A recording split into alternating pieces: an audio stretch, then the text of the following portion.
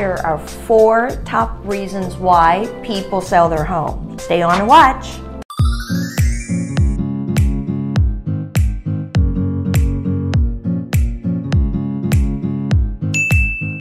If you find this content valuable, you want to hit subscribe and the bell notification so you don't miss future videos. So in this volatile market that we're in, people are still selling their home. Yes, there are less sellers. As you can see, the reflection of it is that we don't see a lot of homes on the market. The transaction numbers have decreased in the past few months because there's just not a lot of homes on the market in inventory. However, there are still four very important reasons why people are still selling their home. Reason number one, financial reasons. Buying a home is not not just a 30 year mortgage that you're looking at. There are miscellaneous expenses that comes with it, like the property taxes, the deferred maintenance. So if you buy an, an, older home, there may be work that needs to be done that you didn't plan for. All of those things become financial reasons why people have to sell. Maybe it's um, a loss of a job. It could be something that affect the affordability of that family where they have to sell.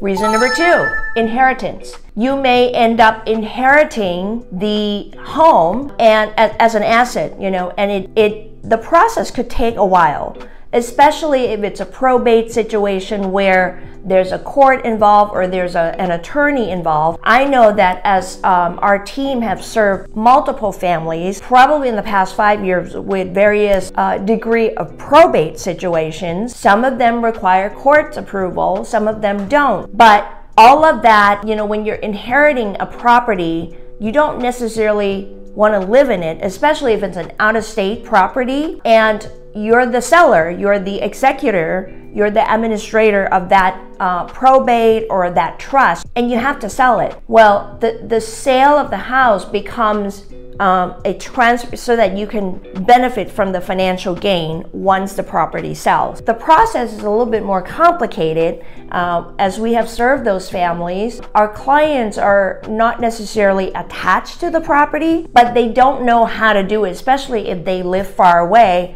So this is where we come in as the problem solvers and help bring the process together, especially when the seller, the legal seller, has inherited the property. Reason number three, divorce. Basically, you know, this have been the home. This has been the home that they have raised their kids in or have, you know, spent years. And now the couple is parting, right? They're they're going through a divorce or they're they're had already just divorced. Interestingly enough, I have been named in several divorce decrees to be, you know, the one person that the husband and the wife have agreed on to be their uh, assigned real estate agent representing the sale of the property. So the divorce situation, you know, it, it all varies. There are a lot of intricacies involved. Uh, there are decisions that are made because of the divorce situation. Sometimes they don't, decisions are not made together in the same room. So this is where your real estate agent, in, in this case, you know, in my experience, we we have come in and basically have separate conversations with the divorce couple and uh, work through the kinks and the process of walking through the process and all of that. So that could take a little bit of time as well because what I found uh, in my experience is that when it's in a divorce situation, it takes a little bit longer for the property to be ready because one spouse may be, or you know, one partner may be living there and the other partner may have moved out. So there's more communication that needs to take place before the property is ready to go on the market. Reason number four, lifestyle, or I call it life events. For example, the family no longer needs to live in that large home because they're retiring. They're now empty nesters. So the home that used to house, you know, two parents and four kids or three kids now is just the two parents and they're downsizing. So if they're downsizing, they no longer live need to live in that huge house and they can sell it and, you know, if things work out well, they have um, accumulated a sizable amount of equity where they can perhaps buy a smaller home all cash or you know the majority of it is not going to need to be financed because they have a large down payment. And, you know, we've seen that with 60, 70, 80% down, which is not bad at all, right? So it's a great situation for the seller because they know that their, their equity is going to take care of their replacement home that they're moving to. Another reason maybe is a job relocation, right?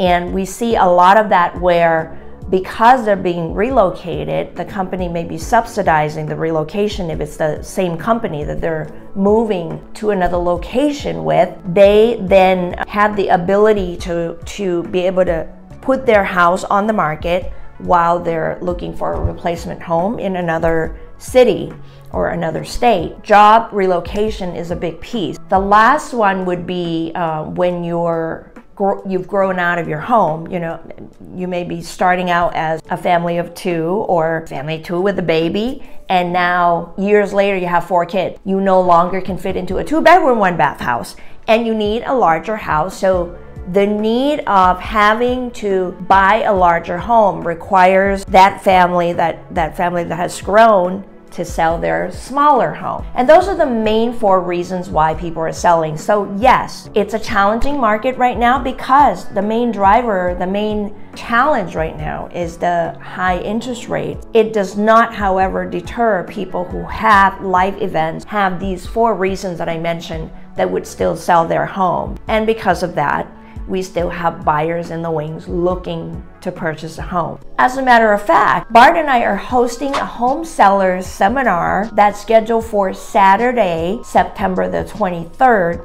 That is coming up. Uh, more information, you can click on the video here um, to learn more and reserve your seat. RSVP is required. It'll be a fun and light nature seminar, but our goal is to equip you so that you can walk away feeling clear about the decision you need to make and how to sell, whether to sell, and how to get started in the process. We look forward to seeing you. Make sure you RSVP. Seats are limited and lunch will be served. Thanks for watching.